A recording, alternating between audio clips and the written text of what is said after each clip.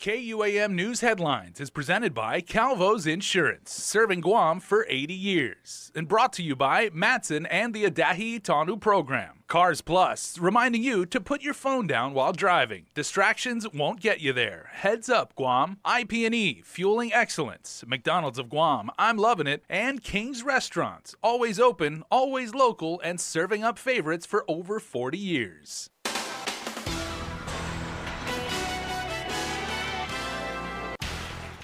Straight ahead on prime time, Chris Barnett's downtown and brings you the very latest from a meeting of the Guam Election Commission.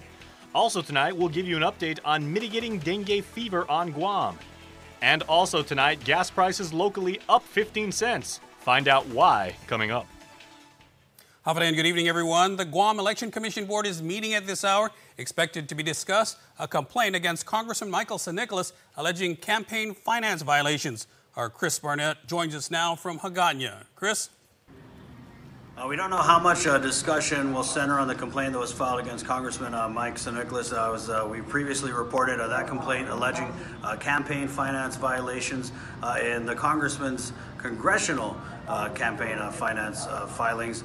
so we don't know if the board meeting today is going to kind of be an official handover of that complaint from the GEC staff to the board. Uh, we're told that you know any uh, investigation and any look into this complaint will happen after tonight's uh, board meeting. Uh, another subject that will be touched on is voting where you live. There's a gentleman who has uh, made a complaint with the Guam Election Commission after he uh, re-registered to vote with the Department of Motor Vehicles.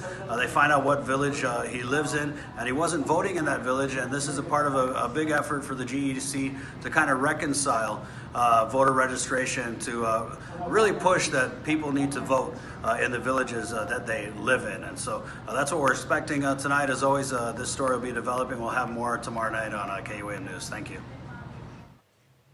Thanks, Chris, for that report. We'll have more from the GEC meeting tomorrow on prime time. Efforts to fight the bite continue today with more crews heading to the identified high-risk areas for dengue mitigation work. Partnering up with the public health are the Department of Agriculture, Guam Police, and animal control officers who will be assisting with stray animals. Their objective remains focused on education, outreach, and mitigation spraying to reduce the potential spread of the dengue virus. Guam Homeland Security Office of Civil Defense Public Information Officer Jenna Bloss. Teams that are going out with public health will be um, equipped with nurses that are able to answer questions and provide some information regarding dengue and to see if they're able to spray in those locations. Bloss says four teams were canvassing Swamp Road in Dededo, and in Mangilao they expect to spray approximately 22 homes, weather permitting, to mitigate any vectors or mosquitoes in the area. But Bloss says there are still challenges. Some homes that they weren't able to reach in the high-risk area in Mangilao, um, so they continue their outreach, their efforts there as well to pass out pamphlets, get information out to those people, and let them know exactly what they can expect, and, and, and they can see those teams in those areas. She says residents in the high risk areas have been mostly receptive, but some have opted out of the spraying. Bloss reminds the public that this is a community effort, and together we can help to fight the bite. An arrest warrant was this executed this week for a man charged with possession of methamphetamine with intent to distribute. Portions of the case against Brian Sanchez Chan have been sealed or not available for public viewing. He appeared before a federal magistrate's judge and was appointed a federal public defender. Chan is scheduled for a bail hearing on Friday. And an arrest warrant was issued for another man, Victor Abisha Regis, on the same charges of possession of methamphetamines with intent to distribute. During a magistrate's hearing, attorney Jeffrey Moots was appointed to represent Regis. A bail hearing was scheduled for September 23rd. And in still more court news, although a jury found two brothers guilty of several charges for the Manila machete attack, motions for acquittal have been filed. Jordan Rashulap and Emmanuel Resalap were found guilty on September 6th on various charges. Starting with Rashulap, his attorney Gloria Rudolph filed a motion for acquittal based on multiple issues, including allegations of absence of competent evidence, neglect, neglectful investigation by police, and conflicting witness testimony. Attorney Sam Teker represents Resalap. He's filed a motion for acquittal for aggravated assault because the jury was not unanimous in its verdict. Initially, both attorneys moved You're for right. mistrial.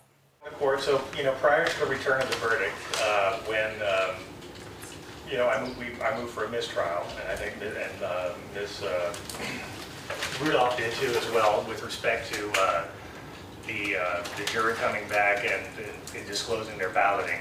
Um, I've done some research on it, and I was going to file a motion with respect to that, but I've I've decided not to. I Judge Vern Perez scheduled a motion hearing for October 10th. The government has two weeks to file a response to both of the defense's motions. For now, Resalap and Rechalap are still scheduled to be sentenced on December 12th.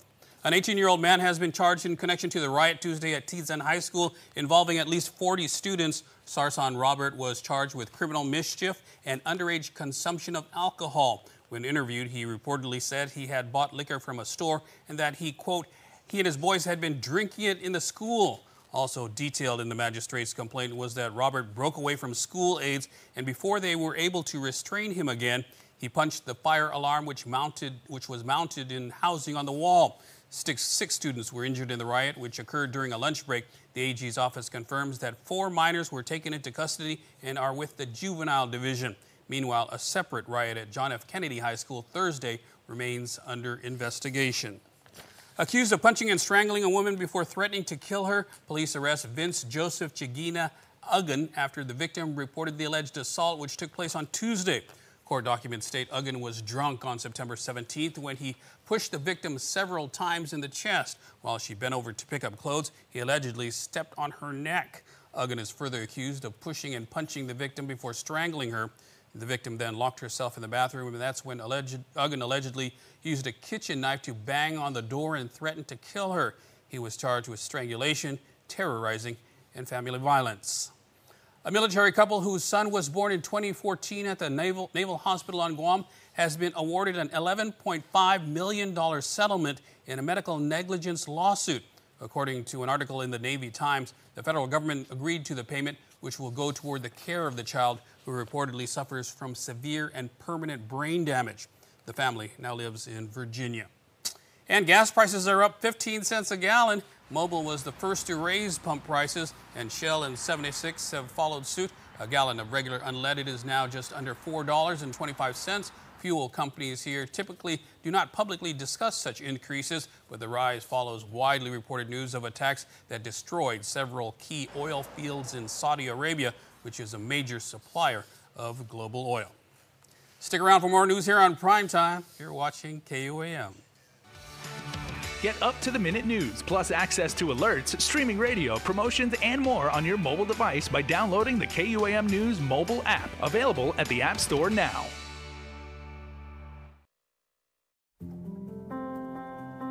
Matson is in this community. We've been in this community for decades. We're going to be in this community for decades to come. Things will get busy, things will get quiet, but we're going to be here. We're your hometown carrier. And that matters to us. Reliability is the core of our business. We take pride in ensuring that we arrive in Guam on time as scheduled. It's our local employees who understand the market, who understand the business, and provide that hard work for you each and every day. When we hold ourselves to high standards, our customers also hold us to high standards. We establish good business relationships that turn into friendships. That's why it's so important to be here and be trusted by your customers. We want you to trust Matson like your friend, like your family.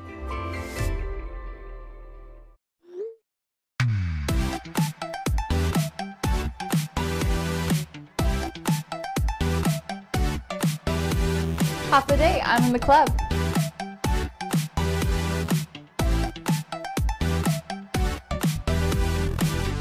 Half a day, welcome to Two Lovers Point. Half a day, I'm in the club.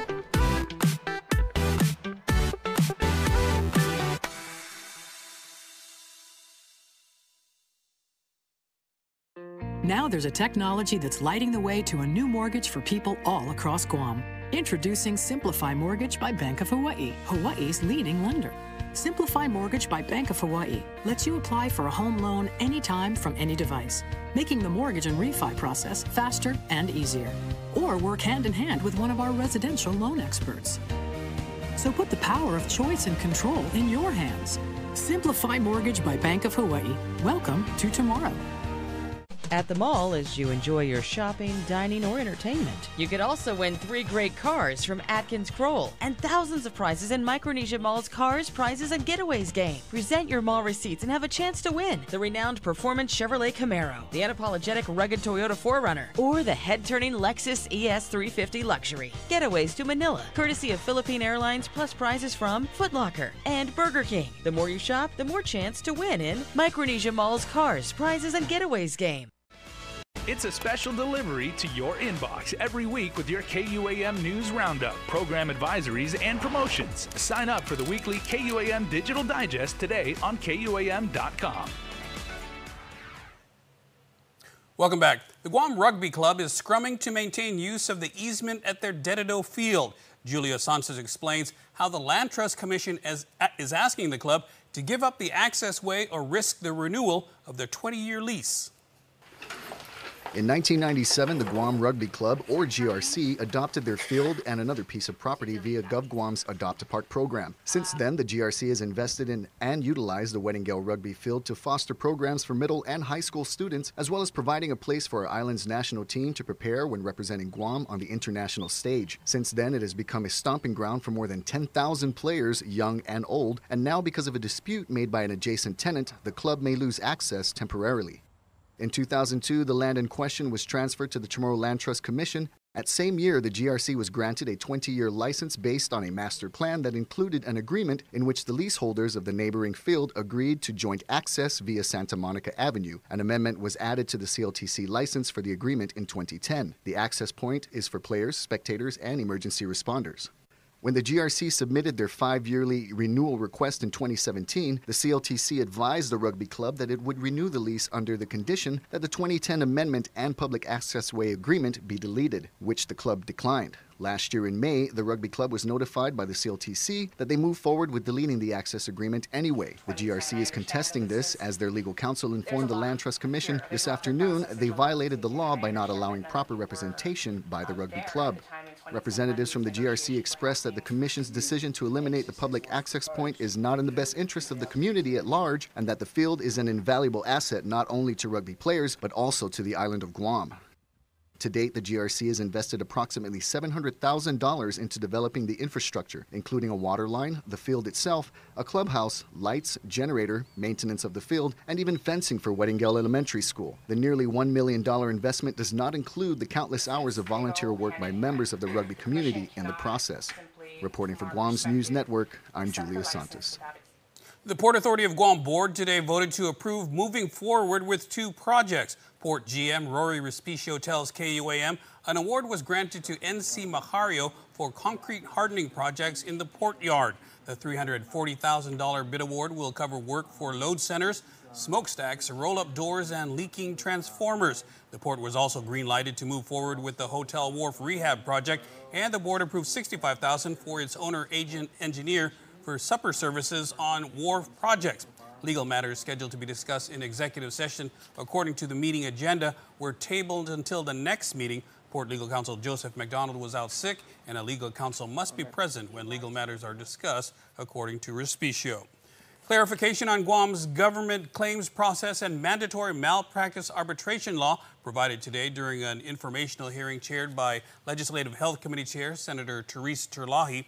Deputy AG Ken Orcutt gave a timeline and procedural breakdown of GovGuam's Claims Act, and attorney Mitch Thompson, who represents several healthcare providers, spoke on Guam's old malpractice law struck down by the Ninth Circuit Court of Appeals in 1984 and current law, which calls for mandatory arbitration before a malpractice claim can be brought to court. If an arbitration decision is appealed and lost, the losing party must pay the winning party's legal fees, which Thompson said can sometimes run upwards of $150,000.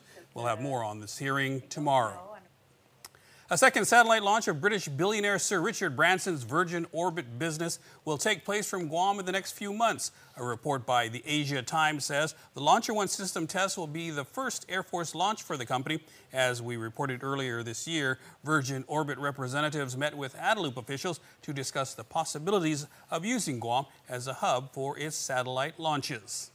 To improve public access to the mounting information on the Guam military buildup, Speaker Tina Muña Barnes is providing a central location for people to search documents and provide input both online and in person. There are a lot of information that has been, uh, that is uh, recorded and uh, has been compiled. Data has been uh, forthcoming, but yet there's a lot of information on a lot of different websites, a lot but how can we bring that all together? A couple of desks, one with a laptop, the other with a desktop computer, have been set up at the Speaker's office. The stations are for those who wish to make public comments or review build-up related documents, which will be compiled on the legislature's website under directories. Two PA memos, one relative to a water well field on Andersen, the other for an urban training facility that will result in the closing off of a popular GIGO exercise area. The deadline for commenting on these projects is October 9th. We have uh, worked on compiling all the data as far back as 2011. Again, working closely with Joint Region Marianas, that all the information they have that can be shared with us will be shared and will be loaded up into this uh, this uh, workstation. The computer stations will be available for public use weekdays from 8 a.m. to 5 p.m. The directory can be found at guamlegislature.com under the Directories tab. The University of Guam has been awarded a $2.3 million grant from the National Science Foundation. It's to help grow the uh, number and diversity of students who are interested in careers in science, technology, engineering, or math fields, or STEM. The $9 million NSF award is part of the $17 million in total grant funding managed by UOG. It received funding for a two-year pilot program in 2017. A new program will start in November and continue for a five-year period, providing marine and environmental science opportunities for more than 95 high school students, undergraduates, graduate students, and early career professionals. And UOG President Dr. Thomas Krise offered a brief lesson on the school's five-year strategic plan to the Rotary Club today. The vision statement is transforming lives, advancing communities. Krise uh, explained the plan's six strategic initiatives, including number one. The things that are worth mentioning, particularly to this audience, are the, the desire for the university to be recognized as a research university. So the, the, the, increase in serious research and the attraction of serious research money to the University of Guam is a very dramatic story that I think even inside the university, we're not as aware of as, as we should be, and, and I think uh, the community needs to know that too. He says the second key initiative is leading as a partnership university. He says as a land grant institution, partnering with the community is very much a part of the DNA of UOG. Dr. Krise is the 11th president of the school and recently celebrated his first full year. He is a graduate of the Air Force Academy and holds a PhD from the University of Chicago and two master's degrees from the University of Minnesota and Central Michigan University. Sports is next. Please keep it here.